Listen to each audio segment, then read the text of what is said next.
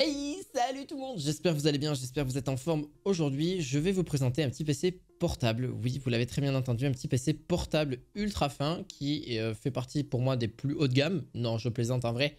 C'est pas le plus haut de gamme, mais par contre, pour travailler, coûte pas si cher que ça. En vrai, c'est quand même un prix, faut être honnête. Mais l'avantage que vous avez avec ce type d'écran, c'est de la marque déjà, de la marque Microsoft. C'est le laptop Go 3. Je l'ai jamais présenté, encore une fois, sur euh, cette chaîne YouTube vous allez pouvoir en fait trouver un PC ultra portable. Ce n'est pas fait pour jouer, c'est fait pour travailler principalement. Euh, pour jouer, ben, vous allez voir d'autres vidéos que j'ai sorties sur le sujet. Alors, pourquoi j'ai décidé de présenter celui-ci? Parce que je l'ai trouvé pas si cher que ça. Parce qu'en vrai, pour un PC qui amène autant de possibilités pour travailler, pour euh, avoir aussi euh, une longue autonomie, parce que ça aussi c'est important, quand vous avez un ultra portable, ce qu'on recherche, c'est déjà pas forcément une puce graphique, donc pas une RTX à l'intérieur. Juste, entre guillemets, un bon processeur et de quoi travailler. Donc en gros, peut-être travailler sur des vidéos, euh, pas forcément des gros gros montages, mais des trucs assez basiques, un peu de Photoshop, etc. Un truc assez multitâche, mais qui prend pas trop la place non plus, et qui permet aussi de se divertir hein, avec Netflix, etc., etc., de travailler sur son ordinateur, mais euh, voilà, que ce soit pas trop imposant, que ce soit assez pratique, qu'on n'ait pas à se poser 36 000 questions ou je ne sais quoi. Là, c'est Pratique. Vous allez voir pourquoi. Donc là, on a un i5 euh, incorporé à l'intérieur du laptop Go 3. Euh, donc vous verrez la présentation directement.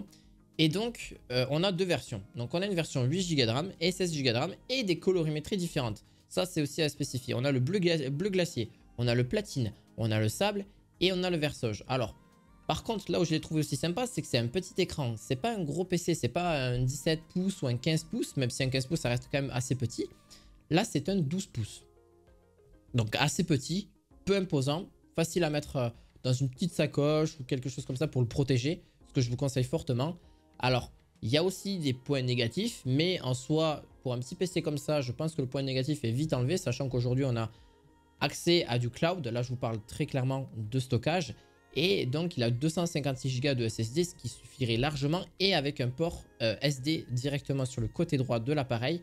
Pareil, aussi, on a, euh, vous allez me dire, mais est-ce que du coup, on a euh, l'USB-C Oui, on a du USB-C. On a un petit port euh, aussi USB. Aussi de quoi le charger. Un petit port jack, forcément, parce que ça, je pense que c'est ce que vous allez me demander là-dessus. Et donc, l'USB-C servira justement pour pouvoir le projeter à un autre écran si vous le souhaitez, parce que c'est le seul un petit peu bémol. On n'a pas de câble de, de port HDMI ou je ne sais quoi.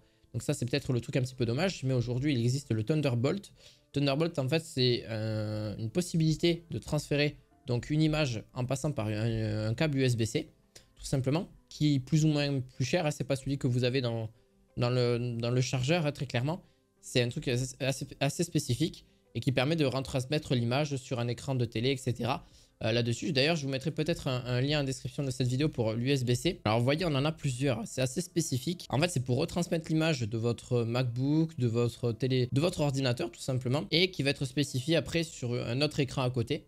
Et c'est pour ça que, vous voyez, il y a plusieurs adaptateurs qui existent et qui est d'ailleurs très utilisé.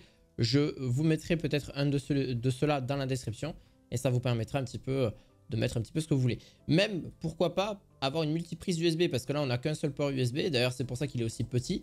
Mais d'un côté, il chauffe pas vraiment, vous inquiétez pas là-dessus. Il fait seulement que 1 kg 130 grammes, donc c'est 1130 grammes en gros. C'est vraiment pas du tout très lourd, surtout pour tout ce qu'il engage à l'intérieur. Si je vous parle légèrement de la résolution, la résolution est quand même pas si haute que ça non plus. C'est du 1080p assez classique. Donc voilà, on n'a pas c'est du 60 Hz, hein, c'est pas du 120 Hz ou je ne sais quoi. Voilà. Et il a aussi par contre une très grosse autonomie. Je vais vous dire un petit peu, vous allez être euh, assez, euh, assez, vous allez voir, assez euh, hallucinant. C'est vraiment hallucinant, pardon pour le coup. Je me suis trompé de mot, mais en gros, on a jusqu'à 15 heures d'utilisation avec une batterie totalement pleine. Alors imaginez de pouvoir l'utiliser presque plus d'une journée sans le recharger. C'est ça qui est juste fou avec celui-ci. Et comme je vous ai dit, on a USB-C 3.2 génération 2 et l'USB-A que je vous ai dit tout à l'heure, plus un combo jack euh, qui sera disponible là-dessus. Donc voilà, vous voyez, c'est pour ça que je le trouve vraiment sympa. Encore une fois, quelle version faut-il prendre Surtout que le prix ne change pas, ou alors très peu. On va être honnête sur ça, c'est que en vrai, il est à 999 euros exactement à l'heure où je vous parle. Il peut peut-être baisser ou peut-être augmenter. Et en fonction de la colorimétrie que vous prenez aussi, ça va peut-être diminuer le prix. Des fois, il n'est pas forcément dispo en fonction de la colorimétrie que vous voulez. Et je vous conseille 16 Go de RAM. N'allez pas sur du 8, surtout que sur du 16 Go, vous allez pouvoir vraiment aller sur euh, plusieurs années. Vous allez être tranquille, au moins ça sera déjà installé, tout sera déjà prêt. Et c'est du Windows 11, hein. Euh, je ne l'ai pas spécifié, mais en gros, oui, c'est Microsoft, vous l'avez compris, c'est Windows 11 automatiquement.